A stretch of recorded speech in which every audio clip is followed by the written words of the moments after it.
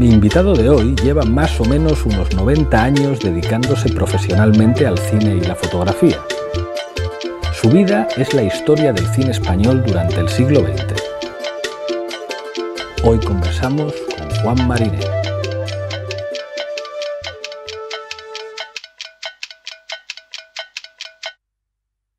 Juan Mariné, bienvenido. Muchas gracias. Naces un 31 de diciembre del año 1920, hace poco tiempo, en Barcelona. En Barcelona. Háblame del ambiente de esa Barcelona de tu infancia de los años 20. Bueno, pues era una... Eh, en mi casa, mi padre era un, gran, un buen jugador de fútbol de un equipo que se llamaba el España de Barcelona, donde mi abuelo, que era compañero de trabajo, había estudiado con Gaudí y trabajaba con él. Era un hombre que eh, no utilizaba el lápiz para pintar sino para, o para dibujar, sino para hacer milagros. Cada dibujo que hacía era para ponerlo en, una, en un marco y guardarlo porque era una maravilla. Quizá resultado de esto es que mi hijo mayor es diseñador. Oscar, ¿no? Oscar, y tiene dos premios nacionales de diseño y mucho trabajo. Es una maravilla de las cosas que él hace. Bueno, entonces eh, mi madre era también eh, tenía una familia muy humilde, tenía una zapatería y jugaba de portera en el Español de Barcelona. Y mi tío, el hermano de, el hermano, sí, mi tío hermano de mi madre, era eh, portero del Barcelona, se llamaba Ramón Bruguera y era un poco como si fuera el reserva de Platko, un portero polaco que tenía el Barcelona, que era como un muro el tío, ¿no? Y mi tío pues era igual, ¿no? De manera que en casa estaba siempre lleno de jugadores de fútbol que iban para arriba, para abajo, siempre había, estaba Samitier, estaba Gamper, estaban todos, siempre venían a ver a uno, a otro, habían quedado.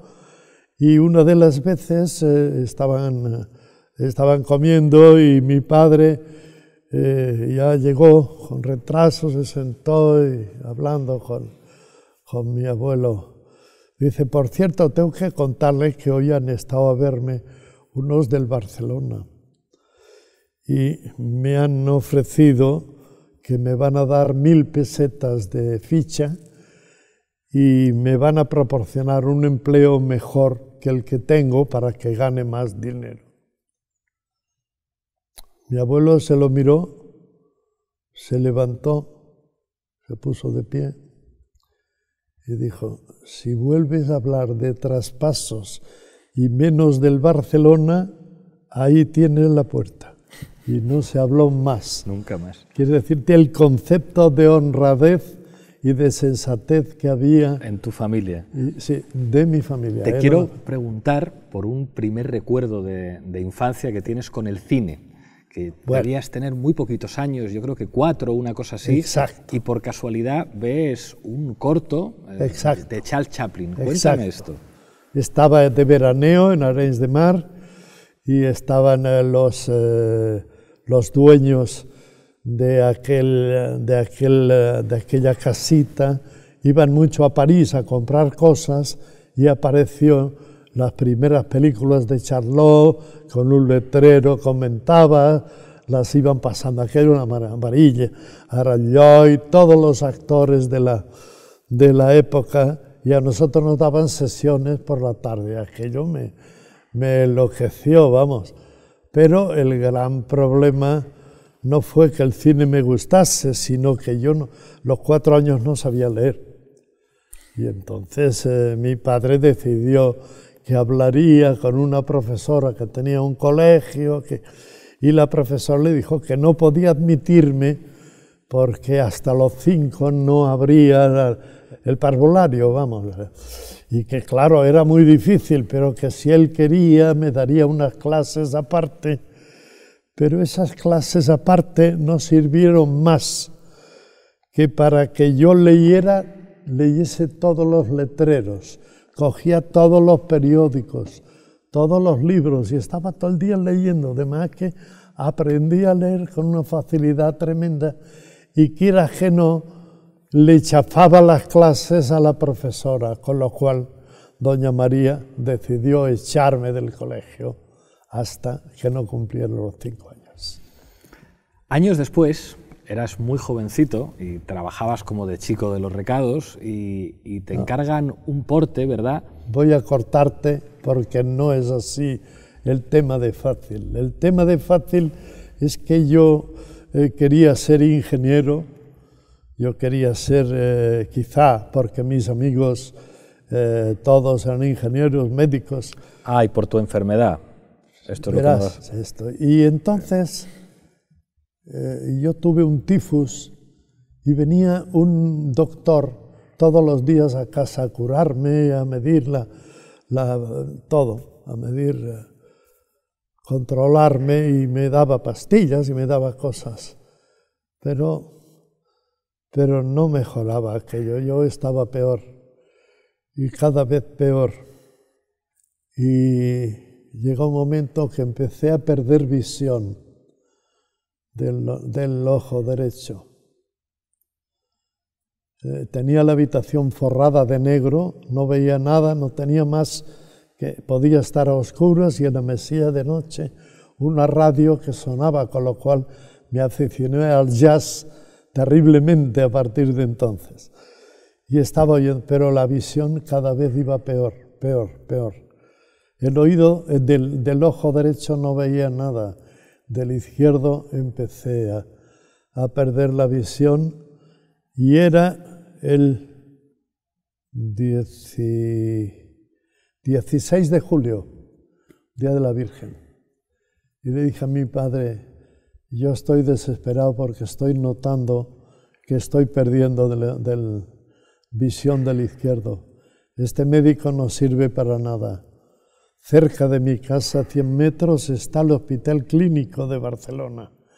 Y fuimos, digo, acompáñame, que iremos a ver qué dicen. Y fuimos al clínico y el doctor del clínico dice, hombre, yo precisamente eh, soy especialista en visión y todo esto, hombre, está muy bien, me empezó a mirar, ah, bueno, muy bien, muy bien, nada, muy bien, muy bien. Dice, ¿tú tienes miedo? Digo, no, yo no, tengo miedo. Ah, qué bien, qué bien, estupendo, pero con un cariño tremendo, cogió una inyección, me la puso, dice, sí, sí, muy bien, muy bien, estás muy bien, muy bien. Y el muy bien, muy bien se conoce que perdí el oremus y me dormí. Eh, la inyección era, era para dormirme. Y cuando yo empecé a recuperar, noté que a través de este ojo me estaban haciendo algo por dentro de la cabeza. Y el hombre, y yo quieto porque dije, no vaya a ser que altere el resultado de todo esto y después me echen la culpa. Entonces yo estuve despierto, despierto interiormente, exteriormente estaba dormido, ¿no? Y no hacía nada, no me movía pero notaba que me estaban operando por dentro de la cabeza, me estaban tocando. Aquel hombre me, me acabó, me vendó, me puso una cabeza tremenda yo pasé un rato, no le deseo a nadie que se despierte en una operación, el, el efecto, y menos en la cabeza, algo terrible, pero yo aguanté, me vendó, me fui a casa y aquella noche pude dormir no tuve que levantarme y pasear por el pasillo y matar las horas haciendo lo que fuera, sino que dormí, con lo cual yo le tuve más fe todavía. Aquel hombre me siguió, me siguió curando durante casi un mes. Aquello era terrible, pero, pero yo fui recuperando la vista y al poco tiempo ya me autorizó a salir de la habitación, a coger un periódico, a coger algo, a ver cosas. Y ya encantado de la vida. Y entonces ya ya me quitó el forro, ya no parecía un hindú, ¿no? todo vendado, y ya hablé con la gente y tal, y yo no podía estudiar, eso sí lo tenía prohibido. Estudiar no podía, no podía hacer muchas cosas de visión, pero sí moverme ya. Y entonces ya estaba por el barrio hablando con la gente y haciendo cosas y bueno. Y me dijo, ya, estoy hablando con un taller mecánico, hombre, y no podría yo venir aquí para hacer algo, ¿no? Para, porque estaba muy parado. Dice, hombre, si quieres aquí, puedes, te podemos tener incluso como ayudante de mecánico, y tú haciendo, o de aprendiz de mecánico, y tú ayudas y tal. Dice, mira, precisamente nos han traído un paquete de Francia que hay que llevarlo a los estudios Orfea, donde están haciendo películas ya sonoras pero ahora esta que nos han traído, la Super Parvo, Super Parvo número, es la número uno, que ya lleva integrado el sonido. Ya a través de esa cámara ya se graba sonido. No como ahora que están, están eh, haciendo las películas dobladas. No, sino que las harán directas. Dije, hombre, pues qué bien, pues sí, me gustaría. Y entonces yo me fui me dice, pues vente, la van a traer mañana, la van a traer mañana y pasado ya lo llevaremos al estudio, que ya hemos hablado con ellos. Ah, pues muy bien. Y yo me fui al día siguiente, había llegado la máquina, sí, aquí está. Y había un paquetito, una bolsita con un libro que yo cogí el libro, yo hablaba francés perfecto, es decir... Y estaban las instrucciones en francés. Exacto y fui leyendo la máquina y me pareció una maravilla. Y siempre hacía referencia a la anterior. Decía, no como esta, no la, el modelo 1, pero ya el modelo 3 sí tiene esto y tiene la sincronía que se conecta. Pero esa sincronía es tan débil de, de contactos, es tan difícil que hay que, en cuanto se traslada la máquina de viaje, hay que tenerlo desconectado porque si no eh, podría haber un problema. Bueno, y entonces al día siguiente voy allí, ayudo a llevar los paquetes, los subimos a un, un camioncito pequeñito, una furgonetilla muy mona, muy tapizada para que no vibrase ni nada, lo llevamos al estudio, lo y allí estaba el equipo, el equipo que por cierto habían echado a todos los españoles que estaban en los estudios de cine y tenían un equipo que habían traído de Suiza. El director era suizo, el operador era suizo, los eléctricos, había dos eléctricos suizos y estaba todo forrado de maque. Allí se hablaba francés y yo no dije nunca nada, pero yo lo entendía perfectamente. Y entonces llega un momento que, bueno, ya lo ponen en marcha, vamos al plató para poner aquello en marcha y tenía que venir un mecánico de la casa de Brie y algo había pasado y el mecánico no aparecía. Se uy, esto. Empiezan a buscar, a llamar por teléfono, ni referencia. Bueno, y entonces yo pensé enseguida el librito y la bolsa y allí no había nada. Entonces, para, yo hice así, para recordar un poco, me fui sin decir nada al taller donde habíamos visto el día anterior, donde se había dejado de primera entrada la cámara y estaba la bolsita allí debajo, vamos, apoyada, había caído. Entonces cogí aquello, me enteré rápido. El sistema de bride quitar los motores era a rosca del motor entero, eso era, era ya lo decía de principio. El motor se quita y detrás está la conexión que dice sincro, entonces eso debe conectarse para... Y dice así, y ya lo leí, lo leí aquello, dejé la bolsa donde estaba, no hice referencia a la bolsa ni nada, me fui al plató y estaban todos los del equipo desesperados porque habían llevado la cámara al plató y no podían. No podían, estaban intentando y aquello no funcionaba. Y yo no digo nada, me acerco y se quedan mirando porque ellos no sabían el grado de amistad que yo tenía con la cámara, ni con la casa, ni con nadie. No sabían quién era yo. Yo era un, vulgar chaval que ayudaba. Pero en fin, yo me acerqué, quité el motor,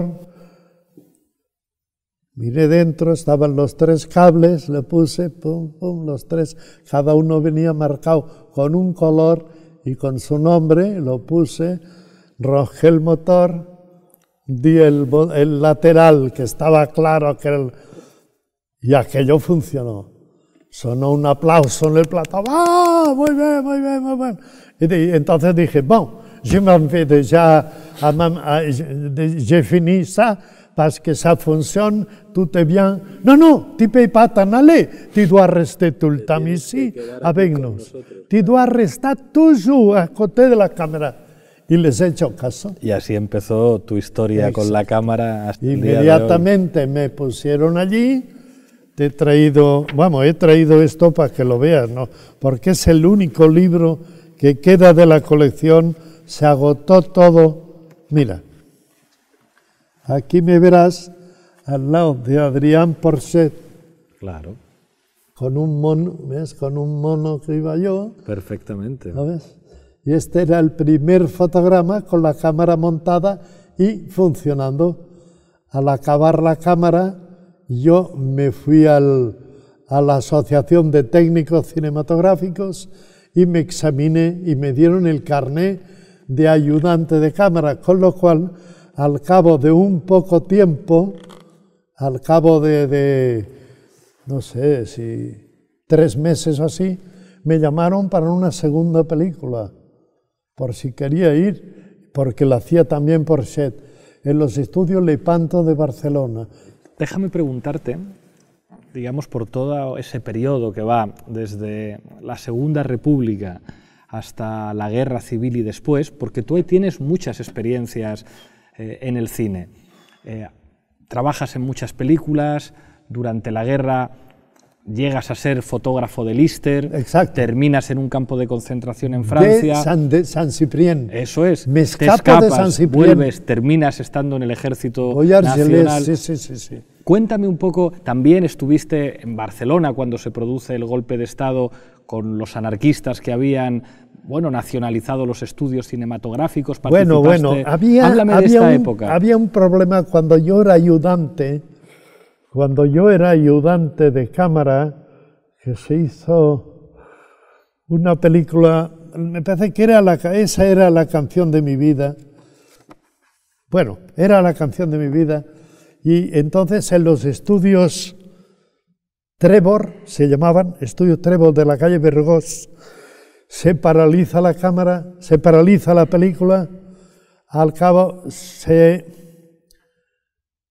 está en la guerra se paraliza la película, está en la guerra y al cabo de un mes renovamos porque apoyo a la Generalitat unas clases en una que había, allí había, en los estudios Trilla era, estudios Trilla, sí, se reanudan los estudios Trilla porque en los estudios Trilla había un estudio de doblaje, entonces aprovechando las cosas que había y las que no había, que yo, por cierto, allí daba en clases ya de sensitometría y lo primero que hice fue apuntarme a clase. Antes de ir a trabajar yo por la mañana iba a clase todos los días, de manera que estaba yo, estaba muy, muy metido en el, en el sistema y aquello empezó a funcionar enseguida. Pero cuando eh, el problema de la guerra en Madrid es que Madrid estaba con grandes problemas, pero apareció apareció eh, el, guerrillero, hombre, el que después mataron de un tiro. Durruti. Durruti. Ah, que tú estuviste después en el entierro en Barcelona. Sí, sí, bueno, no, ¿cómo estaba? Estoy yo preparándome abajo en el taller de, de sensitometría y me dicen, ah, ah, te han seleccionado para hacer de ayudante en la Aurora de Esperanza. Hay grandes desfiles continuos de gente. Entonces tienes que preparar el máximo de cámaras para poderlas situar y rodar todo el recorrido que se haga con lo de Durruti. Y yo... Que fueron cientos de miles de personas en Barcelona, claro. Uf, tremendo. Y entonces yo preparo cámaras, las limpio, las pongo en marcha. Yo tenía una afición tremendo y entonces viene, sí, le dan, matan a Durruti y entonces planto las cámaras que estaban preparadas para Honor de Esperanza, en el cementerio, en el Teatro Novedades, en el Tívoli, en la calle Caspe, a la entrada, en todos lados, en la Plaza Cataluña, en cámaras por todos lados. Y se rueda el entierro de Ruti y todo estaba como, como preparado, como si se hubiese hecho un ensayo de bien que salió. Hasta el punto, ah, y al final, porque el gran problema que había eran las baterías que en aquel entonces duraban nada las baterías. Y cuando voy a rodar a mano, que se planta la CNT un micrófono para despedida en la Plaza Cataluña, que estaba García, García Oliver, García Oliver, que era ministro. García Oliver y, Companys claro. Los dos hablaron. Y entonces voy a rodar. García Oliver, claro. Voy a rodar y la batería no va. Madre mía de mi vida. Y entonces yo dije, ajá, porque yo había hecho prácticas de rodar a mano. Rodar a mano era prácticamente imposible. Aunque las hacían de fábrica, no podías rodar a mano, porque el trazado de la mano era ovoide. Pero yo me había acostumbrado hacer esto, ponerme a la altura de la manivela y entonces rodaba a mano porque había un reloj que te marcaba la velocidad exacta.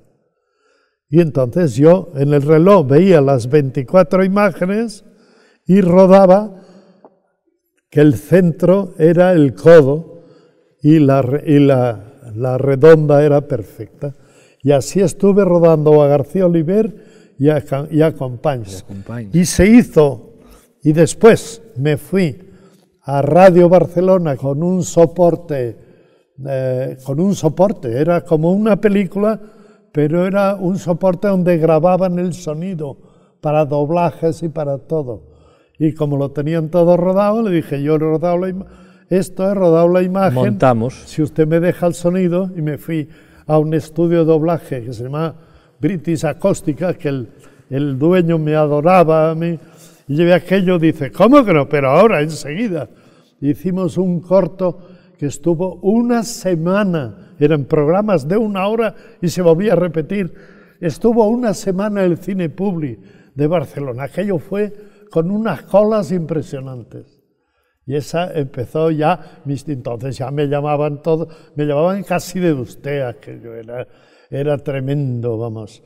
Y aquello empezó a funcionar hasta que de repente, ah, hasta que de repente la CNT con la que yo hice cantidad de películas, si quieres, cantidad de cosas que si quieres, te lo puedo decir.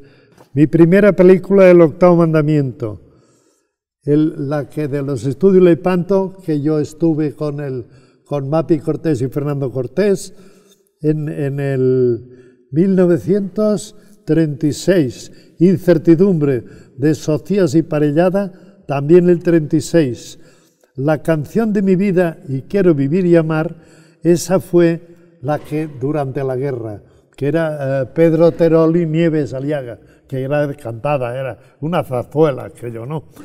Y después ya se montaron las clases abajo en los estudios Trilla, que es donde yo fui a rodar Molinos de Viento, que dirigió una mujer que se llamaba Rosario Pi y la la protagonista era la que después fue mujer de Vittorio Sica.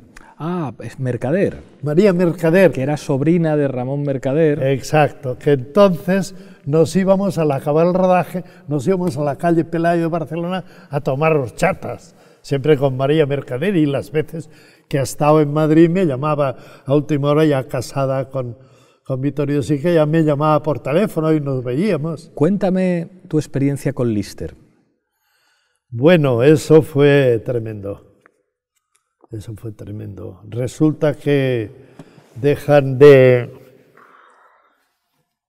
deja de producir la Five porque están produciendo, produciendo, produciendo, pero no, no vendiendo, no distribuyendo. Dice, hay que distribuir. Y me dicen, oye, tú, eh, tú te quieres quedar con nosotros. Digo, ¿y qué haré con vosotros si no hacéis cine? Dice, no, estarás de guardia en la trinchera. Digo, no, hombre, para eso me voy al frente. Yo no, no. No, no, dice, pues nada, te anulamos el contrato y se acabó. Y me anulan el contrato y entonces voy a llevar lo último que hemos rodado al laboratorio, a la calle Lauri 86, que estaba el laboratorio Cinefoto. Era un sótano, bajo y digo, bueno, aquí tenéis ya lo último a la, a la recepcionista que estaba allí, ya tenéis lo último porque ya no, ya no vendré más, ya no, me han dado de baja ya en la CNTFI. Y había otros al lado con unas cajas. Dice, que te vas tú de la CNTFI. Digo, sí, sí, me voy. Dice, ¿y tú quieres venir a trabajar a otro sitio? Digo, hombre, si hay trabajo, yo necesito ganar dinero. Dice, pues desde esto tú puedes, a las 4 de la tarde, si quieres, puedes firmar un contrato con, el, con Laia Films, que era la productora de la Generalitat, que en realidad lo que hacía era un noticiario que mandaba a París, terminado, donde estaba el que ha sido ministro aquí, Jorge Semprún, que lo vendía a todo el mundo y nos mandaba y, y, compraba material, película virgen que nos mandaba, de manera que Jorge Semprún estaba siempre con nosotros. Y entonces yo en Daya estuve rodando por todos lados, estuve con el ministro ¿Y todo. ¿Y grabaste una misa? Sí, tremendo. Para, para uno del PNV, para Aguirre, ¿verdad? Sí. Oye, qué bien lo sabes y qué bien lo has escogido. Porque de repente firmo el contrato, esto era el mes de diciembre, puede ser el día 12 o así. Y viene Castañer, que era el, director de Laia Films, y me dice, el día 24 vas a tener trabajo. Digo, el día 24, el día de Navidad, dice el día de Navidad. Pero no me dice nada más.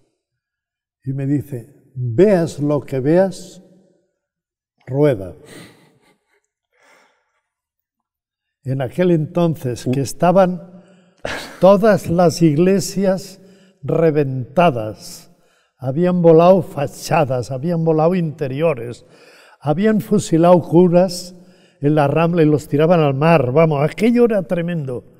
No te podía, no, iban de paisano, claro, no iban de, no sé, desaparecieron los curas, desapareció todo, pero era pavor. Ya cuando pasabas por delante de una iglesia, te hacías un, círculo para ni acercarte, porque daba, daba pánico acercarse a los que eran iglesia. Y bueno, para mí no tenía... Pero bueno, veas lo que veas, y me viene a buscar el día Navidad, suena el timbre, el chofer, oh, estoy aquí ya con el coche. Bajo yo tenía la cámara con seis chasis, que era una cámara de mano, con seis chasis, y el chofer venía porque él llevaba una, una fotolita porque hacía falta bastante luz para rodar, ¿no? Entonces eran materiales muy lentos. Era casi cartulina que llevábamos. Y estuvo con la, bueno, y vino conmigo. La dirección eh, era Rambla de Cataluña, número no sé cuánto, la última casa antes de llegar a Diagonal, una casa fantástica. Bueno, llegamos allí, llamamos al timbre, al ascensor, el timbre, abren la puerta, cogemos el ascensor, el piso era tercer piso o cuarto.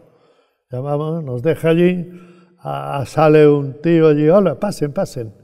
Bueno, y pasamos y nos sentamos.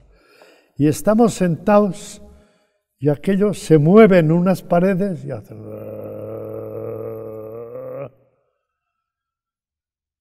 Y queda convertido en una iglesia aquello. Las paredes, las que se corrieron, se escondieron detrás de otra y estaba todo decorado. Y yo me quedé pálido, pensé en la cantidad de iglesias que se habían volado, la cantidad de, de curas muertos y de gente que trataba con los curas, y aquello, yo me entró, no sé si temblaera o que me entró, pero, pero dije, aquí me la juego. Si, si no ruedo, es peligroso, porque delato esto. Y si ruedo y hay alguien que sabe que esto se va a hacer, soy hombre muerto, claro, seguro.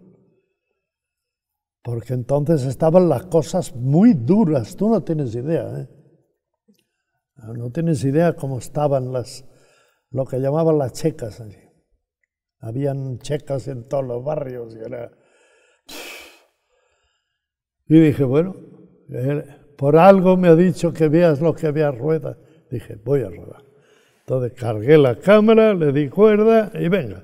Y aparecen el cura vestido de cura y detrás el ministro de Euskadi, Juan Antonio Aguirre. Dice, hola, hola, hola, nos da la mano y sigue.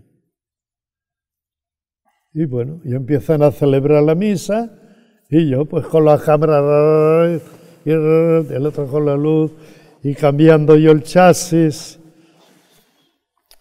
Y estaba, estaba con una tembladera que no podía yo. Pero bueno, yo le he dicho que yo vea lo que vea, ruede. Y he rodado. Y rodé todo, seis chasis. Ya nos fuimos a despedir. Y entonces dice Aguirre, un momento, no vayáis. Entra y vuelve a salir con un paquete. Cuatro tabletas de turrón. Dice, una tableta para cada uno, porque yo no soy capaz de comer ni un trocito de turrón de pensar que vosotros seguro no tenéis. Dije, pues no, no tenemos en casa turrón, porque yo antes de venir aquí he ido a la cola del suministro de comida y me han dado para celebrar el día de Navidad para tres personas me han dado seis mandarinas. Esa era la comida que teníamos aquella Navidad. Pero bueno, reparte aquello y yo lo puse como pude en la maleta y todo tapado, pero había que salir. Si alguien se había enterado que íbamos a rodar, la misa nos estaba esperando fuera. Y el chofer me dijo, tú quédate aquí dentro que yo voy a dar una vuelta a ver cerca del coche, a ver si hay algo, una vuelta a la manzana. Paró, pasó por allí, dio otra vuelta y ya entró, dice, sal tranquilo que no hay nadie, nadie lo sabe. Bajé al coche y a casa.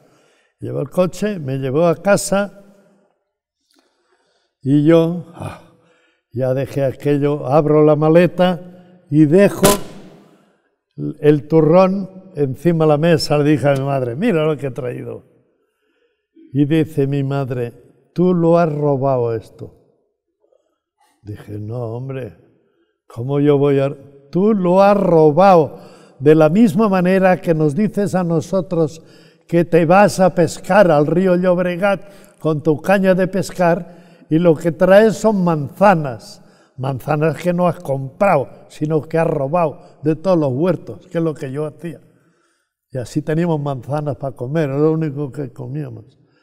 De más que, y mi madre, que voy a denunciarte. Pero hombre, mamá, que dime quién te lo ha dicho, porque yo, yo la, la comisaría está aquí a la esquina, me que está rápido. Pero si yo sé quién te lo ha, quién te lo ha dado, yo voy a hablar con él. Y mi madre, hombre, por favor, que bueno, ya por cansancio, mi madre ya no habló más de ir a comisaría. Y aquello que no era nada, que no contaba yo con la seriedad de mi madre, ya lo convertimos en un, en un nada.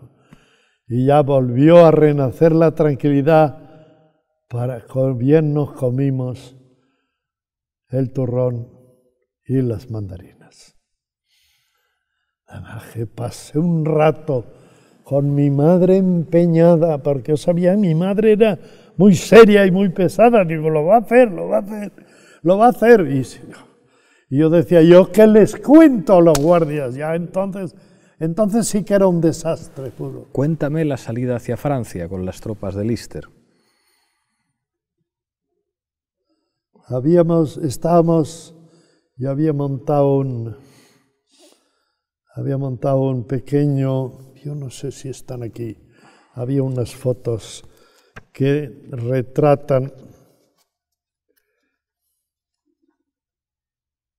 Yo iba tan miserablemente cuando la orden que tenía era de llevar a la frontera y entregar a las autoridades francesas el archivo que teníamos nosotros, de fotografías, de panorámicas, de todo, entregarlo todo.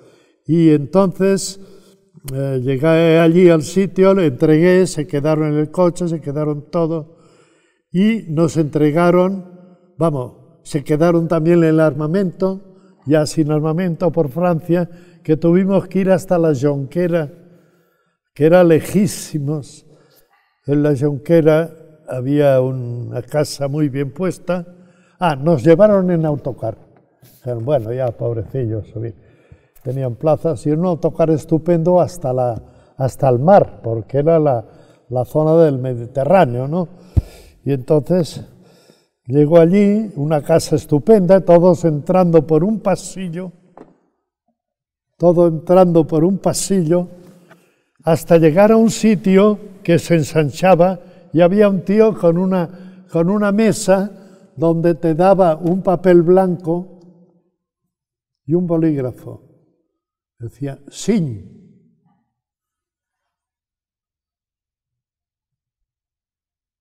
Y dije, yo pensé, un papel blanco, sí. Y le di la vuelta al papel blanco. Por la otra cara estaba impreso y decía, el abajo firmante se compromete a estar cinco años eh, cumpliendo su eh, cumpliendo con las con la eh, cinco años como se está en la legión extranjera para defender Francia. Y tú dijiste. Y le dije, mais pourquoi je dois signer ça si je vais aller à ma maison? pas à France, je vais pas rester en France, je vais aller à l'Espagne. Ici, il n'y a pas de place. Ah, bon.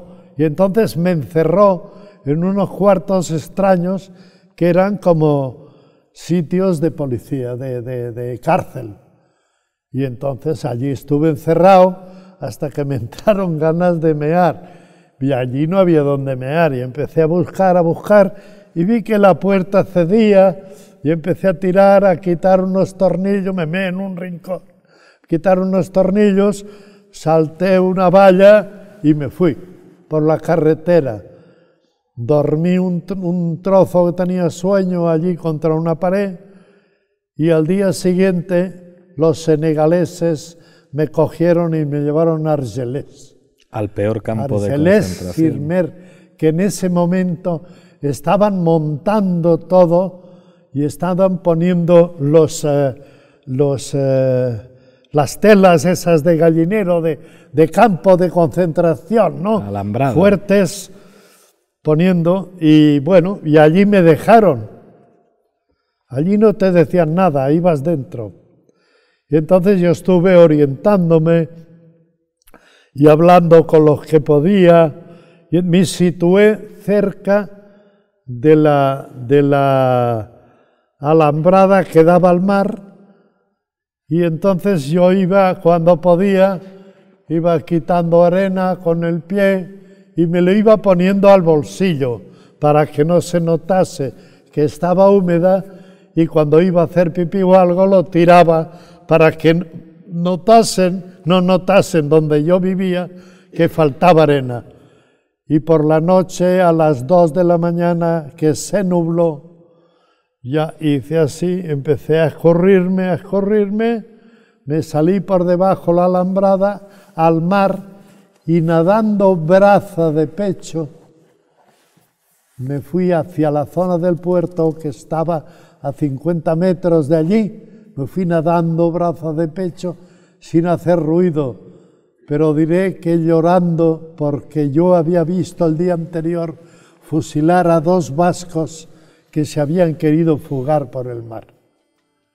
Y me acordaba de ellos y estaba esperando, estaba nadando muy despacio, pero esperando oír el disparo que me iban a dedicar si me hubiesen visto. Pero todos los guardas y todo el mundo a las doce de la noche apagaban todas las luces y todo y se iban a dormir a unos carromatos que tenían ahí detrás.